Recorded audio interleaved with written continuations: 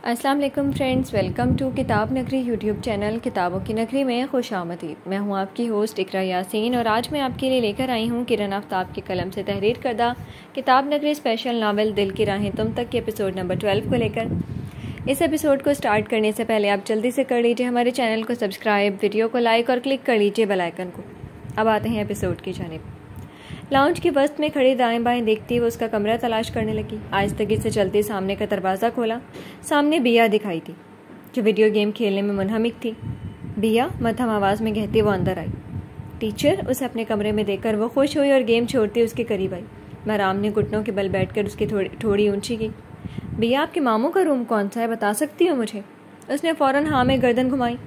आकिब मामू का नीचे और जहरान मामू का ऊपर। उसने उंगली से ऊपर की जानब इशारा किया, मराम ने उसका गाल सहलाया, किसी से कहना मत कि मैं यहाँ आई थी। ओके, टीचर, वो मुस्कुराते हुए बोली। मराम ने सर्द आ खारिज की और जीने फलांगते जहरान के कमरे में आई। तुम्हारी हिम्मत कैसी हुई मेरे लिए रिश्ता भिजवाने की? समझते क्या हो तुम खुद को? आंधी तूफ़ान की मानंद कमरे में दाखिल होती दोनों हाथों से उसे धक्का देती, वो पूरी कुत से चिल्लाई थी। वह इस हमले के लिए तैयार नहीं था गिरते गिरते बचा। बिल्कुल वैसे ही जैसे तुमसे मोहब्बत करने की हिम्मत की, वो दिल ही दिल में खुद से मुखातिब हुआ। मैं तुमसे शादी नहीं करूँगी। उसने उंगली उठाकर तंबी की, पर मैं तुमसे ही शादी करूँगा वह सीने पर हाथ बांधते हुए बोला। भूल है तुम्हारी। दुनिया के आखिरी शख्स हुए ना, तब भी तुमसे शादी नहीं करूँगी। तुम जैसे फ्लर्ट आत्म इसे शादी का करने का सोच भी नहीं सकती, वो गुराई। तुम्हारे साथ फ्लर्ट कब किया मैंने? आवाज़ एकदम तेज़ हुई। फ्लर्ट करने का मौका ही नहीं मिला, इसलिए रिश्ता भिजवा दिया। उससे में कमी नहीं आई थी। जो फ्लर्ट करते हैं, वो शादी नहीं करते मराम फरीद पर पर ज़ोर देते हुए बोले, लेकिन मैं तुम जैसे बिगड़े हुए अमीर ज़ादे से शादी नहीं करना चाहती। आज अगर मैं यहाँ खड़ी हूँ तो इसकी वजह सिर्फ़ तुम हो, सिर्फ़ तुम, वो चिल्लाई। मान लिया कि मैं फ्लर्ट हूँ, वो वीडियो भी मैंने बनाई थी, लेकिन इस सब के बावजूद शादी मैं सिर्फ़ तुमसे करूँगा। जब तुम जनेरा को पसंद करते हो तो फिर मुझसे शादी क्यों करना चाहते हो? मेरी मर्ज़ी, तुम्हारे साथ सामने जवाब दे नहीं हूँ और अगर मैं तुम्हें इतना ही बुरा लगता हूँ तो तुम इनकार कर सकती हो। यहाँ तुम्हारी बात हो रही है। यहाँ हम दोनों की बात हो रही है। तुम्हारे पास अख्तियार है, जाओ, कर दो मना। वैसे भी निकाह के वक्त मर्द से पहले औरत की मर्ज़ी पूछी जाती है। तुम्हारे पास मौका होगा, तुम इनकार कर सकती हो। नहीं कर सकती, उसने सरगोशी की। कमाल है, मैं तुम्हारा आम फरीद को बहुत बहादुर समझता था, जो दिल की मर्ज़ी के ख़िलाफ़ कुछ नहीं करती, जो इनकार करने, सब कह देने की सलाहियत रखती है। जैसा कि इस वक्त वो उसकी तरफ़ घूमते हुए बोला। ज़िंदगी में बहुत सी मजबूरियाँ ऐसी होती हैं जो इकरार करवाती हैं। कभी कभी हम वाकई इनकार करना चाहते हैं, लेकिन ये मजबूरियाँ इकरार करवा जाती हैं। मराम ने रुख मोड़ते कहा, मैं भी इनकार नहीं कर सकती। मकरूज़ जो हूँ तुम्हारे घर वालों की एहसानात जो हैं हैदर अंकल के, उनके बोझ तले दबी और मराम फरीद किसी का एहसान नहीं रखती। एहसानात से चिड़ है मुझे। सही कह रही हूँ, ज़िंदगी में मजबूरियाँ और मसलहतें इकरार करवाती हैं, और जब कभी हम इनकार करना चाहें, अपनी मर्ज़ी से जीना चाहें तो फिर से ये मजबूरियाँ सामने आ खड़ी होती हैं। और हमें एक बार फिर ना चाहते हुए भी इकरार करना पड़ता है। मुख्तसर ये कि हम दोनों मजबूर हैं। मराम ने हैरत से उसे देखा।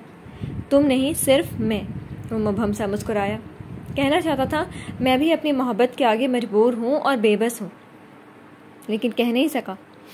इनकार नहीं कर सकती तो थोड़ा सा एतबार कर लो। मुमकिन है तुम्हें मुझसे मोहब्बत हो जाए। दिल में एक ही शख्स के लिए मोहब्बत और नफरत बाहम नहीं पनपती। ये दोनों मुख्तलिफ़ जज्बे हैं और मेरे दिल में तुम्हारे लिए सिर्फ़ नफरत है। तुम्हें मुझसे बिला वजह नफरत है। बिला वजह मोहब्बत भी तो हो सकती है ना? उसने अबरूज खाते हुए कहा, तुमसे नफरत बिला वजह नहीं है। तुम अच्छी तरह जानते हो और मोहब्बत का तो सवाल ही पैदा नहीं होता, क्योंकि मैं तो तुम्हें पसंद भी नहीं करती, जहरान हैदर। चलो फिर एक डील करते हैं। तुम निकाह के लिए राज़ी हो जाओ, बल्कि मेरे ख्याल से तुम राज़ी हो, क्योंकि अपने हैदर अंकल को इनकार तो तुम वैसे भी नहीं कर सकती। मकरूज जो उनकी? किसी का एहसान भी नहीं रखती एहसानात से चिड़ है तुम्हें। यही कहा ना अभी तुमने, उसने इस्तेफामी अबरूज का है मराम ने रुख फेरा। यह नावल आप किताब नगरी यूट्यूब चैनल पर पढ़ और सुन रहे हैं। अगर चंद माह में तुम्हें मुझसे मोहब्बत ना हुई तो अलहदगी के कागजात पर तुमसे पहले मैं दस्तखत करूँगा। वादा रहा तुमसे। और जहरान हैदर वादा खिलाफ नहीं है। कहते वो वार्ड्रॉप की तरफ़ बढ़ा। इसको ज़रा सी भी शर्मिंदगी और एहसास नदामत नहीं। यह आदमी सिर्फ़ बदला ले रहा है मुझसे, उसने अफसोस से सोचा। क्या? कुछ और भी कहना है? उसे वहीं खड़ा देकर वह मुस्तबसर हुआ। अगर मेरा कमरा पसंद आ गया तो कोई मसला नहीं, जितनी देर चाहो यहाँ रुक सकती हो। लेकिन मैं तुम्हें कंपनी नहीं दे सकता। सॉरी क्योंकि मुझे किसी ज़रूरी काम से जाना है। कोट का कॉलर दुरुस्त करते वह करीब से गुजरा मराम उसकी पुश तकती रह गई। मुमकिन है तुम्हें मुझसे मोहब्बत हो जाए। फूलों पर हाथ फेरते सहरान के जुमले याद आए। नामुमकिन, उसने तलखी से सोचा और मुड़ी। तभी पीछे मौजूद आकिब को देखकर ठटकी। सॉरी मैं आपको देख नहीं सकी थी। वह व्हील चेयर का रुख मोड़े मुबम सा मुस्कुराया। कोई बात नहीं, आप तो वैसे भी सीधा नहीं जाती।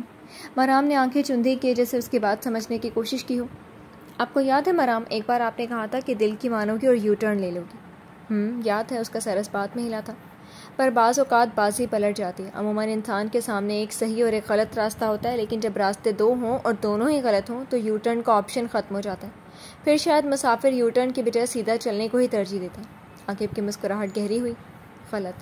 उसने नफ़ी में सर हिलाया, होता कुछ यूँ है कि मुसाफिर बिल्कुल सही जा रहा होता है, गलती उसकी नहीं होती, बल्कि रास्ते में आने वाले साइन बोर्ड गलत निशानदही कर जाते हैं। ऐसी सूरत हाल में मुसाफिर को महसूस होता है कि यू टर्न लेना चाहिए था, लेकिन दर हकीकत वो सही रास्ते पर होता है, जिसके अख्ताम पर वो मंजिल पाता है। जहरान से बेहतर आपके लिए कोई नहीं हो सकता। वह ज़रा मुख्तलिफ़ इंसान है, जिसे आसानी से समझना मुश्किल है, पर वो बुरा नहीं है। कदर तवक़ुफ़ के बाद कहा गया, अगर इस रिश्ते को लेकर आपके दिल में कोई शुबा है तो निकाल दो। हम्म? आप इनडायरेक्टली आप अपने भाई की तारीफ़ कर रहे हैं। यानी जो हो रहा है अच्छा है, मैं मुड़ के ना देखूँ। बात के ख़ताम पर उसने अबरूज का आप समझी नहीं। मैं समझ गई हूँ। ये तो नहीं जानती कि जहरान ने आपसे क्या कहा है, लेकिन इतना ज़रूर कहूँगी कि साइन बोर्ड मंदिर का पता देने के लिए होते हैं, गुमराह करने के लिए नहीं।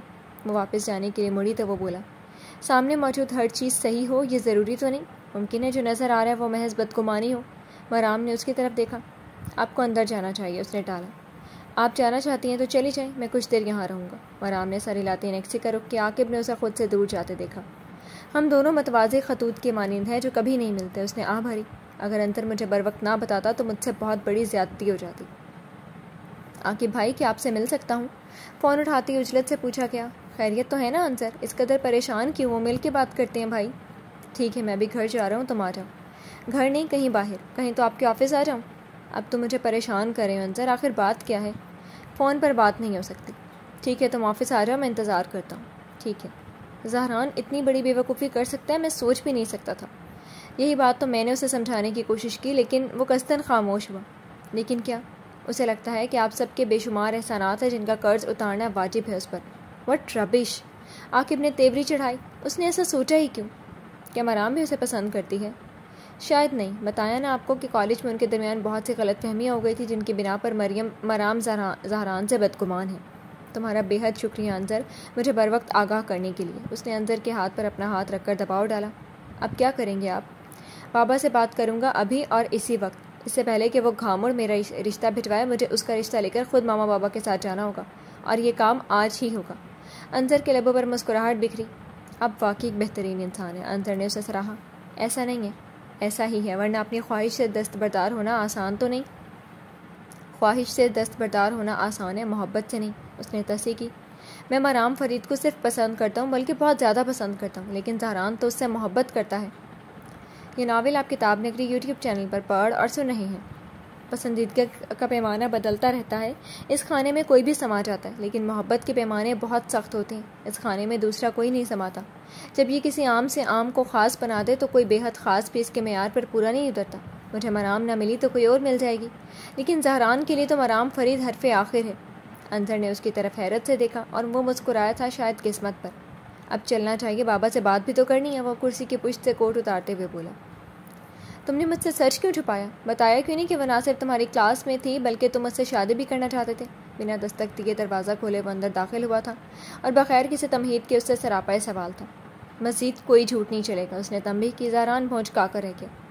भाई, वो ऐसा नहीं है दरअसल, सिर्फ़ और सिर्फ़ सच जहरान दूसरी कोई बात नहीं।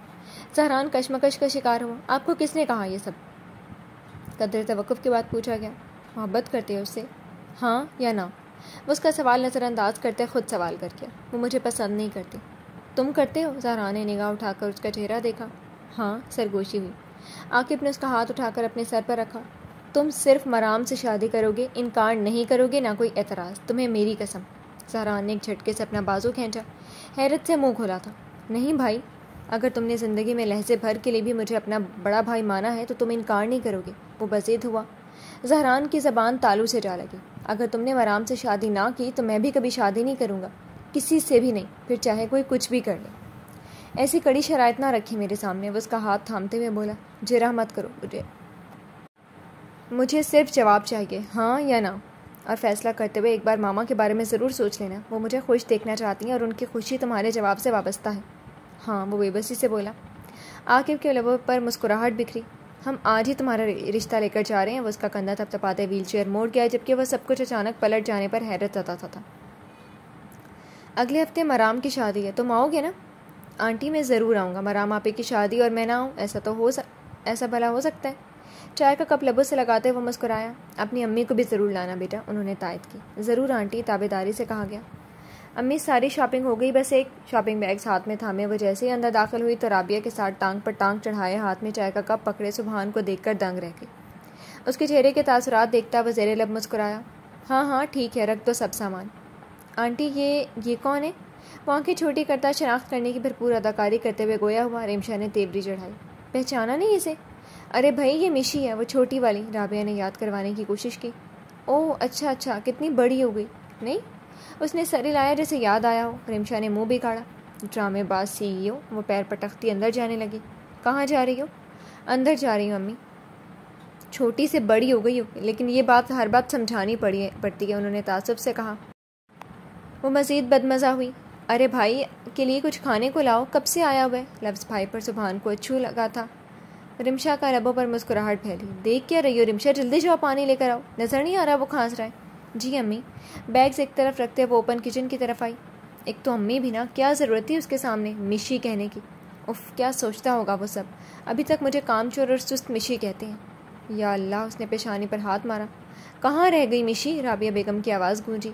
फिर से मिशी। या अल्लाह, आखिर अम्मी को कौन समझाए? मैं बड़ी हो गई हूँ। कम से कम उसके सामने तो इतनी इज़्ज़त अफसाई ना करती मेरी। वो रोहान सी हुई। आ रही है, उसने हाँक लगाई। क्यों आ गया ये यहाँ? आया होगा अपनी अमारत का रोप झाड़ने। वो जिसबत होते लॉन में यहाँ से वहाँ चक्कर काटती, उसके जाने का इंतज़ार कर रही थी। मुझे कोस रही हो? मिशी? अकब से उसकी आवाज़ पर वो पलटी भवें उचकाई। एड्रेस किसने दिया तुम्हें? और यहाँ क्यों हो? तुम्हें देखने उसके गुस्से से महसूस होता मुस्कुराते हुए बोला। पल भर को वो खामोश हुई, फिर खुद को नॉर्मल ज़ाहिर रखते गोया हुए। तुम जाओ यहाँ से और दोबारा मत आना, समझे? मराम, आपे की शादी में आने की भी कोई ज़रूरत नहीं है। पर मैं तो अपने होने वाले साली की शादी में ज़रूर आऊँगा, उसकी आँखों में देखते हुए बोला। रेमशा की आँखें फैली और मुँह खुला। तुम मुझे परेशान करके अच्छा नहीं कर रहे, उसने उंगली उठाकर सरगोशियाना अंदाज में कहा। ये नावल आप किताब नगरी यूट्यूब चैनल पर पढ़ और सुन रहे हैं। शादी पर अम्मी को लेकर आऊँगा और वो कहते कहते रुका मुस्कुराते हुए बालों पर हाथ फेरा। और वह बेसाख्ता पूछ गई, फिर खुद की अकल पर मातम करते जबान दांतों तले दबाई। और उन्हें कहूँगा कि आंटी को मेरी सास के अहदे पर फाइज कर दें। रिमशा ने नज़रें चुराई, लेकिन मुझे तुम्हारी अम्मा बतौर सास कबूल नहीं है। वह खिफत मिटाने को बोली और रुख गई कबूल तो करना पड़ेगा उन्हें भी और उनके बेटे को भी, क्योंकि बिल गेट्स तो तुम्हें मिलने से रहा, वो हँसते हुए बोला, रिमशा के लबों पर तबस्सुम बिखरा। दिमाग ख़राब हो गया तुम्हारा और कुछ नहीं। वो बिना उसकी तरफ़ देखे तेज़ तेज़ कदम उठाती आगे बढ़ने लगी और वो मुस्कुराता हुआ बैरूनी गेट की तरफ़ चल दिया। क्या वाकई में उस वक्त जहरान हैदर के कमरे में मौजूद उसकी बीवी की हैसियत से या फिर ये कोई बुरा ख्वाब है? वो कमरे का जायजा लेते हुए सोचने लगी। माजी की अनगिनत यादें किसी फ़िल्म के मानंद निगाहों के पर्दे पर चलती हुई दिखाई दी। लॉक के खुलने पर उसकी धड़कनें खाम ख्वा तेज़ हुई। धड़कनों के इंतज़ार पर वो खुद भी हैरान हुई थी। वह अंगूठे से दाएँ भवों को खुजाता कमरे के बस्त में इस्तादा था। क्या कहूँ इससे? क्या इसको बता दूँ कि वो वीडियो मैंने नहीं, बल्कि नहीं नहीं। हर बार मैं ही क्यों पहल करूँ? उसे भी तो कुछ कहना चाहिए। मुझसे सवाल करे, पूछे मुझसे कि जहरान क्यों वो झूठी तस्वीर बनाई तुमने? कुछ तो कहे, भले ही लड़ ले मुझसे, बस बदगुमान न रहे। उसके झुके सर को देखते हुए सोचों में गुम था। हंकारा भरता वो बैठ के दाएँ जा रही मौजूद सोफे पर जा बैठा। कि यह मुझसे कोई बदला ले रहा है? कि यह मुझ पर चिल्लाएगा या फिर मुझे ताने देगा? आखिर क्यों इसने मुझसे शादी की? मजबूर मैं थी, ये तो नहीं था। उसे खामोशी से टांग पर टांग चढ़ाए बैठा देखकर उसका दिल मजीद ख्वाबसदा हुआ था। मेरे साथ बाहर चलोगी? वह एकदम उठते हुए बोला। हम्म? मराम ने झुका सर उठाकर उसे हैरत से देखा। बाहर चलोगी? उसने सवाल दोहराया। वो कशमकश का शिकार हुई, फिर चंद सेकंड की खामोशी के बाद बोली, मैं चेंज कर लूँ पहले? वह चाहकर भी इनकार नहीं कर सकी। ठीक है, मैं पोर्च में इंतज़ार करता हूँ तुम्हारा। उसने कार कीज उठाई और दरवाज़ा खोलता बाहर निकला। मराम का रुका, सांस बहाल हुआ। सादा सा सूट से बेतन के पोर्च की तरफ़ कदम बढ़ाती बोलचन का शिकार थी। उसे करीब आधा देखकर जारान ने फ्रंट डोर खोला। आज तो बैठोगी ना? दरवाज़ा खोलने के बाद वो उसके चेहरे के तासुरात देखने को झुका। चेहरा हर तासुर से आ रही था। वो बिना कुछ कहे खामोशी से फ्रंट सीट पर बैठ गई। मशहूर रेस्टोरेंट के आगे गाड़ी को ब्रेक लगा वह जारान के पीछे चलती रेस्टोरेंट के अंदर दाखिल हुई। क्या ऑर्डर करूँ? इससे पूछूँ या रहने दूँ? पर इससे पूछने का भी कोई फ़ायदा नहीं। पूछने पर कौन सा अपनी पसंद नापसंद बता देगी मुझे? दो मार्चिनो प्लीज़ उसने करीब मौजूद वेटर से कहा। तो अब ये हर बात में अपनी मर्ज़ी करेगा। पूछा तक नहीं और कॉफ़ी मंगवा ली। वो भी मार्चिनो। सोच कर ही उसका हलक कड़वा हुआ। दोनों एक दूसरे की जानब देखने से गुरेज करते इधर उधर निगाह दौड़ाने लगे। कुछ देर बाद बेटा कॉफ़ी सर्व करता वापस पड़ता कॉफ़ी और जारान दोनों मेरे सामने हैं। दोनों ही बेहद कड़वे हैं। कैसे पीऊँगी इतनी कड़वी कॉफ़ी? उसने कॉफ़ी से भरे मग पर नज़रें जमाए सोचा। एक नज़र खामोश बैठे जारान पर डाली जो मग लबों से लगाए कॉफ़ी पीने में मनहमिक था। पीनी पड़ेगी मराम, पीनी पड़ेगी। वो ना चाहते हुए भी कॉफ़ी का मग लबों से लगा के जारान ने कॉफ़ी का घूंढ घूंट भरती मराम की जानब देखा जो कॉफ़ी का सिप लेने के साथ इर्द गिर्द का जायज़ा भी ले रही थी। इतनी खामोश क्यों है आखिर? ऐसे ला ताल्लुक से बैठी है जैसे मेरे साथ नहीं, बल्कि अकेली आई हो। नज़रें हनूज उसके चेहरे पर मरकूज थी। उफ, कितनी कड़वी है हलक तक कड़वा हो गया। कि इतनी कॉफ़ी पीते हैं, इसीलिए तो बिल्कुल कॉफ़ी की तरह कड़वा है। आखिर ये कुछ कहती क्यों नहीं? कुछ कहे तो मैं भी बात शुरू करूँ। कॉफ़ी तो ऐसे पी रही है जैसे इससे ज़्यादा अहम काम दुनिया में कोई नहीं है। उसने आखिरी घूंट भरते मराम को देखते हुए सोचा, बस, अब और नहीं पी सकती, वरना मुँह से बाकी की कॉफ़ी बाहर आ जाएगी। मुझे वॉशरूम जाना है वो हलक में घुली कड़वाहट को अंदर उतारते हुए मुश्किल गोया हुई। मैं ले चलता हूँ। नहीं, मैं खुद चली जाऊँगी। किस तरफ़ है? किस तरफ़? उसे खामोश पाकर वो फिर गोया हुई। सामने उसने इशारा किया। हम्म, वो सारी लाते उठ खड़ी हुई। ये नावल आप किताब नकरी यूट्यूब चैनल पर पढ़ और सुन रहे हैं। वॉशरूम जाते ही सारी कॉफ़ी बाहर निकली थी उसने मुँह पानी से साफ़ करते टिश्यू उठाया। उफ़ तो आज मैंने कॉफ़ी भी पी ली। आखिर ज़रूरत क्या थी मुझे ये सब करने की? कह क्यों नहीं सकी उसे? पता नहीं मैं क्यों उसके सामने अनकंफर्टेबल फील कर रही हूँ। कह ही नहीं सकी। हाथ पाँव ठंडे हो रहे थे जिससे उफ़ और दिल इतनी ज़ोर से क्यों धड़क रहा था? उसने बेसाख्ता दिल पर हाथ रखा, फिर खुद को पुरसकून करती नफ़े में सर हिलाया और बाहर आके वापस कुर्सी पर बैठी। जहरान टेबल पर रखी कार कीज़ में उंगली फंसाए, उसे घुमा रहा था, उसके आने पर रुका। कि ये मुझे कड़वी कॉफ़ी पिलाने बाहर लाया था? इतना चुप तो ये कभी नहीं रहा। क्या कहूँ? कैसे बात शुरू करूँ? क्या ये मेरी बात सुनेगी? अगर सुन ली तो यकीन करेगी, वो शशोपंच का शिकार था। कुछ कहो मराम प्लीज़ कुछ कहो। ऐसे चुप ना रहो, जो कहना चाहती हो कह लो। मैं तुम्हें सुनना चाहता हूँ, उसने बेबसी से मराम को देखते हुए सोचा। मेरे जानो दिल, मेरे हम सफ़र, मैं उदास हूँ, कोई बात कर। तेरे लब हिले तो कटे सफ़र, मैं उदास हूँ, कोई बात कर। कोई बोझ हो तो उतार दे, कोई खौफ हो तो निकाल दे। मेरा हाथ है तेरे हाथ पर, मैं उदास हूँ, कोई बात कर। नहीं याद कितने बरस गए, तेरी गुफ्तगु को तरस गए। मेरी खिड़कियाँ, दरो, दीवारों दर मैं उदास हूँ, कोई बात कर। तुझे चुप है कैसी लगी हुई? अभी उम्र तो है पड़ी हुई। अभी मुस्कुरा, अभी गम न कर। मैं उदास हूँ, कोई बात कर। सर, आप कुछ छोड़ लेंगे? उन्हें बिना मकसद बैठा देकर वेटर ने करीब आकर इस्तफसार किया। वो सोचो को पैसे पुश डालता एकदम सीधा वो। नहीं थैंक यू जहरा ने मुस्कुराते हुए कहा, वेटर सर को खम देता दूसरी टेबल की तरफ़ घूमा। मुझे लगता है अब हमें चलना चाहिए। वो इतना ही कह पाया। ठीक है मैं आराम का सरस बात में हिला। तो ये यहाँ मुझे कॉफ़ी पिलाने लाया था। जैसे सब कुछ नॉर्मल हो जैसे हम दोनों एक दूसरे को बहुत पसंद करते हैं। जैसे हम अपनी शादी इंजॉय कर रहे हैं। वो जरान के पुश तकते उसकी तकलीद में रेस्टोरेंट से बाहर निकली।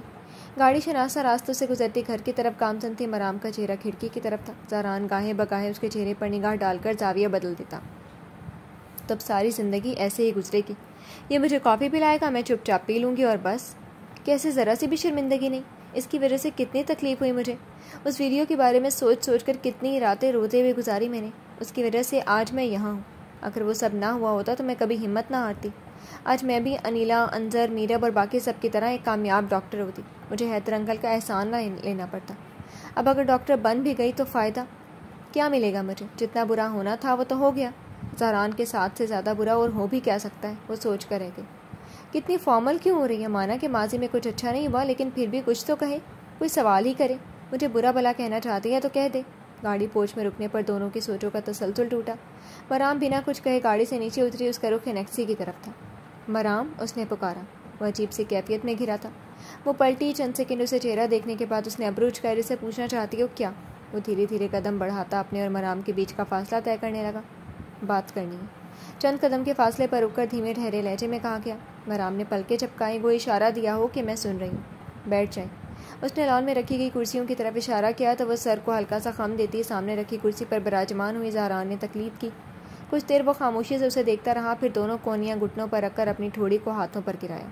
मराम सामने रखी नफीस टेबल पर उंगली फेरने लगी। पता है, जब आप गलत ना हो और गलत समझे जाएँ तो कितनी तकलीफ़ होती है? कितनी ज़्यादा वो सर उठाकर बुला निगाहों का तसादम हुआ। एक ऐसा इंसान जिसकी नज़रों में आप खुद को बुलंद और मोतबर देखना चाहते हो, पर अचानक कुछ ऐसा हो कि आप उस शख्स की नज़रों में गिर जाएँ। बेतनाई ला ताल्लुकी बेतबारी के सबसे निचले दर्जे पर पटख दिए जाएँ, जहाँ आपकी ज़ात सामने वाले के लिए बेवकत हो। जानती हो तब क्या होता है? उसने झुकी नज़रें उठाई। मैं बताऊँ? कदरे तवक़ के बाद कहा गया, मराम ने बेसाख्ता उसे देखा। तब आप अजियत के इंतहा पर होते हैं। अपनी पसंदीदा हस्ती की निगाहों में अपने लिए बेयकीनी देखना गुनहकार ना होते हुए अपने अक्स को उसकी आँखों में बहसीत मुजरिम देखना मार डालता है। यह नावल आप किताब नगरी यूट्यूब चैनल पर पढ़ और सुन रहे हैं। मराम ने उसकी आँखों में झांका जहाँ सुर्खी वाजह थी। सहरा ने निगाहें चुराई वो उसकी जानब देखने से गुरेजा थी। खामोशी गहरी खामोशी। चंद सेकंड वह ज़मीन पर तराशीदा घास को देखता रहा फिर खा, खामोश बैठी मराम के हाथ थाम कर अपनी आँखों से लगाए वह सब मैंने नहीं किया था। उस वक्त मैं नहीं जानता था कि वह तस्वीर किसने एडिट की और क्यों। मैं गलत नहीं था, मराम। मैं तुम्हें कभी दुख नहीं दे सकता। ऐसा करने का सोच भी नहीं सकता। मराम दम्बा खुद से अपने हाथों पर उसका झुका सर देखती रही। उसकी हथेलियाँ तर होने लगी। वह एकदम साकित हुई। वो रो रहा था। हाँ वो रो रहा था। वह साकित निगाहों से बिना कोई जुम्बिश किए उसे देखे जा रही थी। उस दिन में मैंने कुछ नहीं किया था। मेरे पास अपनी बात साबित करने के लिए कोई सबूत नहीं, लेकिन मैं तुमसे झूठ नहीं कह रहा। रोने के बायस आवाज़ के भारीपन में इजाफा हुआ था। उसने गहरी सांस ली, मराम के हाथों पर उसकी गिरफ्त ढीली हुई। उसकी जानब देखने से मुकम्मल एतराज़ एतराज़ बरतता। वो खड़ा हुआ और बिना निगाहें मिलाए लंबे लंबे डग भरता लौन अबूर करके। उसके जाने के बाद वो कितनी ही देर साकिन से अपनी हथेलियाँ खोले, उन्हें तकती रही। उसके आंसुओं की तपिश को अब भी अपनी खुश्क हथेलियों पर महसूस कर सकती थी। वो क्यों रोया? मराम की आँखों में नमी उतरी। शायद जुर्म करने वाले भी इतने पशेमान नहीं होते जितना वो था। क्या वाकई उसकी गलती नहीं थी? मैंने समझने में गलती कर दी। क्या कुछ देर पहले वो सच कह रहा था? क्या उसने कुछ नहीं किया था? अगर जहरान ने नहीं तो फिर किसने किया? उसने बोझल सांस हवा के सुपुर्द की। सर में दर्द के बायस टीसें उठने लगी। मैं क्यों करूँ इसका एतबार? क्यों सोचूं इसके बारे में? पर उसने नफ़ी में सर हिलाया। मैं समझ नहीं पा रही क्या सही है, क्या गलत। उसने खाली कुर्सी को देखते हुए सोचा जहाँ वो कुछ देर बैठा था। आय हाय राबिया, क्या पूछती हो? मुझे तो तुम्हारे हालात का सुनकर बहुत अफसोस हुआ। हमदर्दी भी है तुम के, तुम्हारे साथ। लेकिन इसका मतलब ये नहीं कि हमदर्दी में अपना नुकसान कर लूँ। मैं समझी नहीं, क्या कहना चाहती हैं आप? उन्होंने इस तबसार के और साथ मराम को चाय के साथ रखे दीगर लवाज बल्कि नकेल डालो। किसी की बात कर रहे किसकी बात कर रही हैं आप? वो हैरान हुई। अरे भाई, तुम्हारी छोटी बेटी की। मिशी? मराम ने हैरत से पूछा। हाँ वही। क्या किया रिमशा ने क्या नहीं किया, ये पूछो। अरे, मेरे मासूम बच्चे को खूब फंसाया उसने। न जाने कब से मुलाकातें कर रही है उसके साथ। ये किस तरह की बातें कर रही हैं आप? मराम हैरत और बेयकीनी से तकते हुए बोली। पर्दे की ओट में छुपे रिमशा के पैरों से ज़मीन निकली, वो दंग से उन्हें देखे गई। यकीन नहीं आता तो जाओ जाके अपनी बहन से पूछो। न जाने सुबहान पर ऐसा क्या जादू किया है कि वह दिन रात रिमशा नाम की रट लगाए हुए। आपको गलत फहमी हुई है, मेरी बेटियाँ ऐसी नहीं, राबिया बेगम मुश्किल कह पाई। अरे, बस रहने दो, सब जानती हूँ मैं। पर एक बात बताए दो तुम्हें। अपनी बेटी को अच्छी तरह से समझा दो कि सुबहान का पीछा छोड़ दे। जाए कोई अपना जैसा पसंद करे। अरे, कहाँ मेरा बेटा और कहाँ वो? नखवत से कहा गया। मराम ने मुँह पर हाथ रखा। रिमशा के सबर का पैमाना लबरेज हुआ। मैं नहीं, आपका बेटा मेरे पीछे आया था। अगर मुझ पर यकीन नहीं है तो जाके अपने बेटे से पूछ लें। वो एक झटके से उनके सामने आई कैसी बदतमीज़ और बदजबान बेटी है तुम्हारी, राबिया? कैसे बेबाकी से दंदनाते हुए जवाब दे रही है? ऐसी लड़की को कौन बनाएगा बहू? हाँ हूँ मैं बदतमीज़।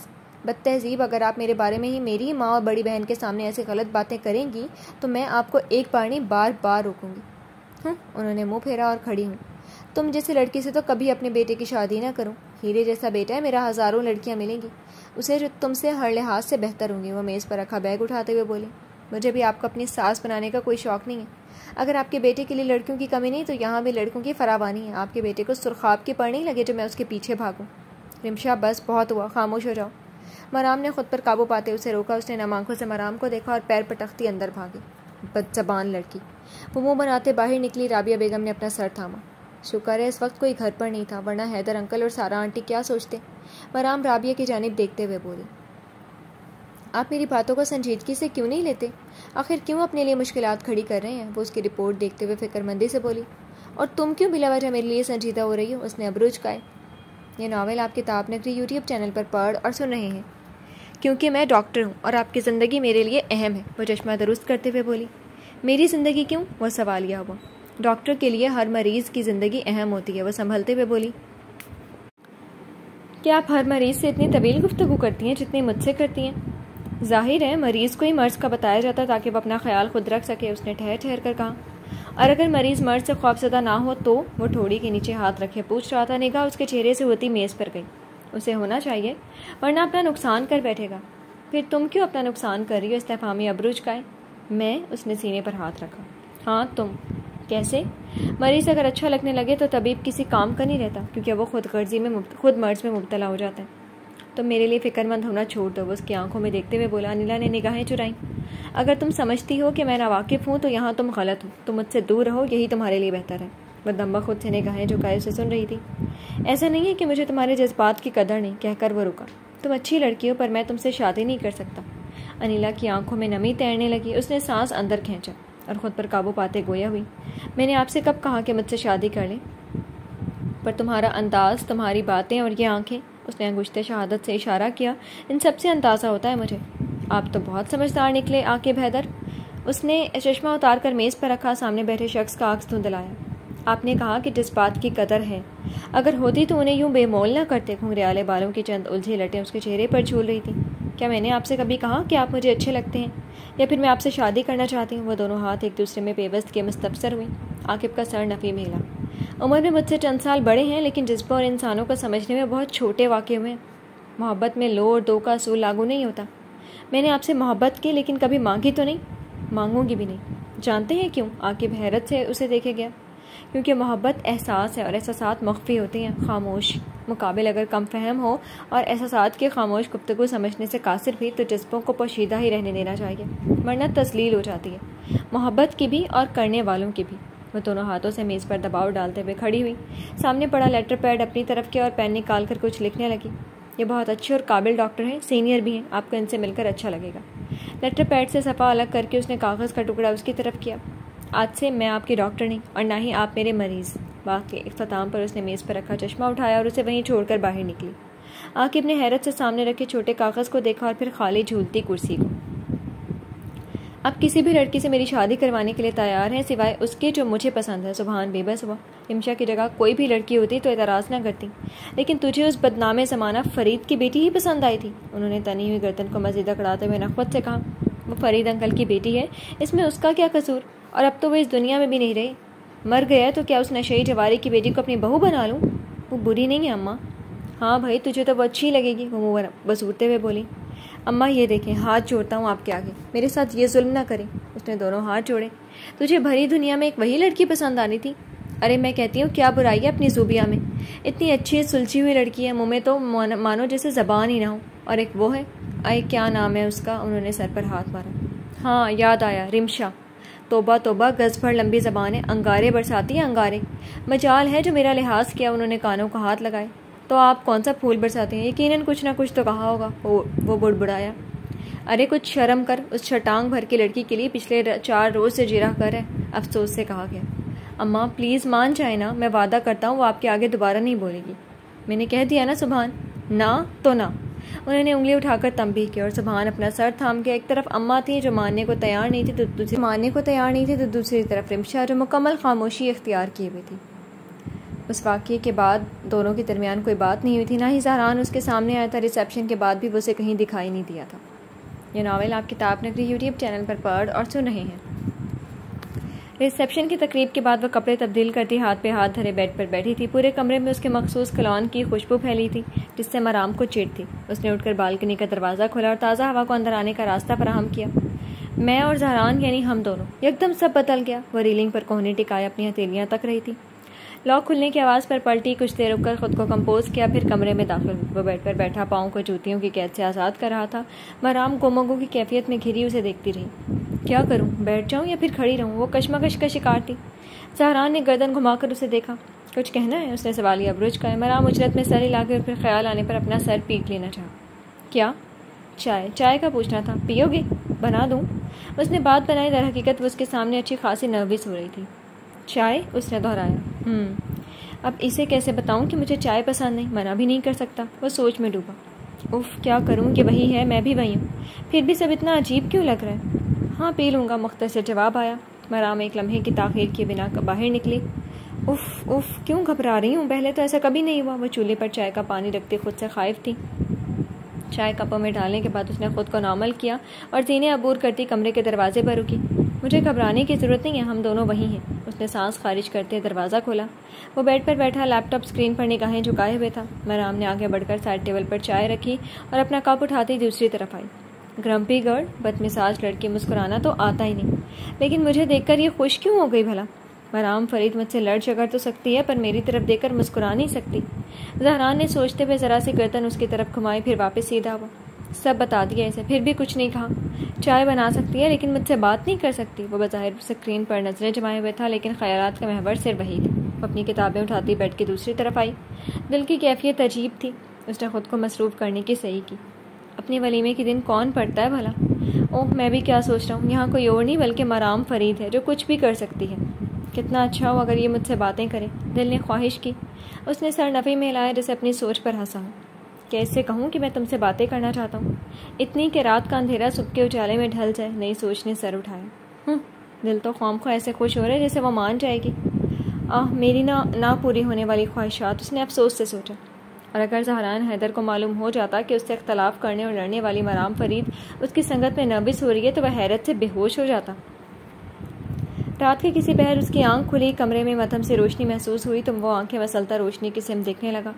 सामने काउच पर वो किताबों का ढेर लगाए, मोबाइल की टॉर्च चलाए मथम रोशनी में पढ़ रही थी। ये अभी तक पढ़ रही है? अध खुली आँखें मुकम्मल वहाँ हुई। कितना पढ़ती है ये? वह ज़रा सी गर्दन ऊँची किए उसे देख रहा था। अगर ये ऐसी ही पढ़ती रही तो टॉप कर जाएगी और और सारे स्टूडेंट्स मुझे बद देंगे। मुझे जबकि मुझे तो दुआओं की अशद ज़रूरत है। गलती कर दी इसका रीएडमिशन करवा के उसने मुँह पर हाथ रखकर जमाई रुकी और हाथ बढ़ाकर लाइट जलाई। पूरे कमरे में एकदम रोशनी फैली। मराम जो पढ़ने में मनहमिक थी एकदम चेहरा उठाकर उसकी तरफ़ देखा।